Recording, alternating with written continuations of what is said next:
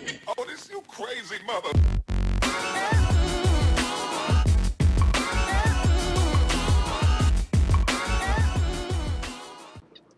Abstract here. This is an old canvas that I didn't want to lose the the paper that was on it.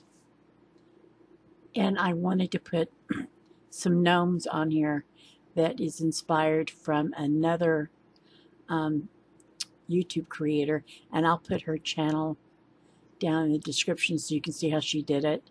She did it on, um, I think, a canvas board. It's smaller. I did this on a 16 by 20 canvas that I just repurposed. And uh, I, the base of it is, um, you know, torn pages from a book.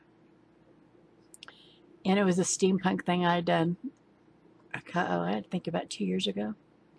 Anyway, so I just repurposed it.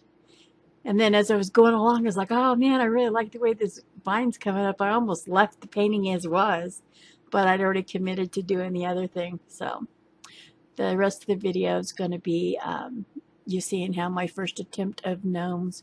I've uh, every, people that know me, I just moved into an apartment where I actually have like a little patio and going to have a little garden area. But I live in New Mexico, so it's going to have to wait till the spring because we're, you know, fast approaching winter here. So my first gnomes are going to be this, and I've done this, and I'm going to put it in um, the living room window that faces my little porch.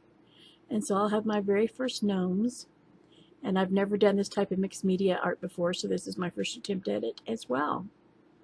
And make sure to check out in the description for the YouTube creators. I think it's Deliberately 8 or something like that.